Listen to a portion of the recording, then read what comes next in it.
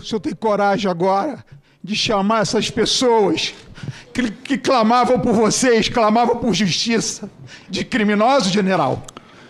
Houve os atos do dia 8, as pessoas, algumas delas, é, retornaram para a praça, houve uma ordem judicial do Supremo Tribunal Federal, o Exército, nessa ordem, recebeu a incumbência de auxiliar as forças de segurança pública na desmontagem Na desocupação, desmontagem, prisão em flagrante das pessoas e condução por parte da Secretaria de Segurança Pública para triagem. Ontem houve na Câmara dos Deputados uma audiência pública e um dos advogados mencionou.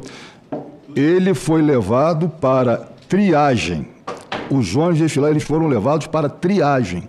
Eu quero repetir para o senhor: o senhor é um covarde e o senhor presta continência para comunista. E o senhor hoje serve a um ladrão.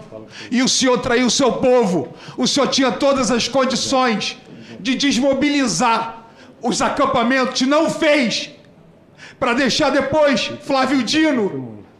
Com vocês não desmobilizaram, mas depois que virou governo, para adular esse governo de ladrão, de desgraçados, que arruinaram nosso país e vão arruinar de novo. O senhor encaminha senhoras, senhores, famílias e crianças para serem presos e agora terem pena, general covarde. Senador, mais, senador, senador, senador, eu vou lhe interromper. E é a segunda vez que o senhor ofende aqui o depoente, isso não é razoável. Eu vou pedir para que a taquigrafia retire essas ofensas do texto. Passo a palavra ao próximo. Três minutos e meio. Três minutos e meio, cadê? Ele tem três minutos e meio ainda, não. Ele encerrou a conversa, pelo que eu entendi. Ah, então pode concluir, senador. Mas, por favor, eu peço que o senhor não ofenda mais o depoente.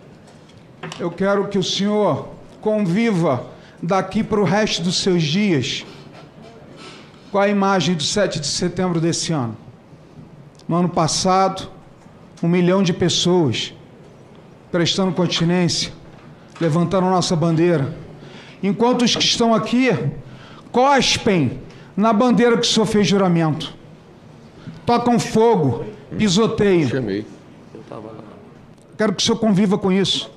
Que os senhores, que a esquerda, que destruiu a imagem dos senhores durante todos esses anos, agora, hoje aqui, um chamou o senhor de golpista. Lula não é presidente? Como é que o senhor é golpista?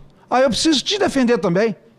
Se o senhor é golpista, quem tinha que estar no poder é o senhor, ou sei lá, algum general.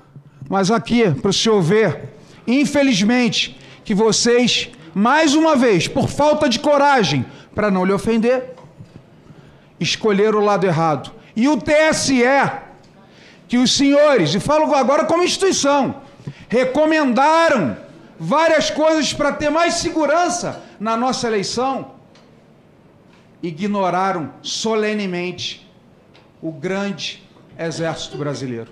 Muito obrigado.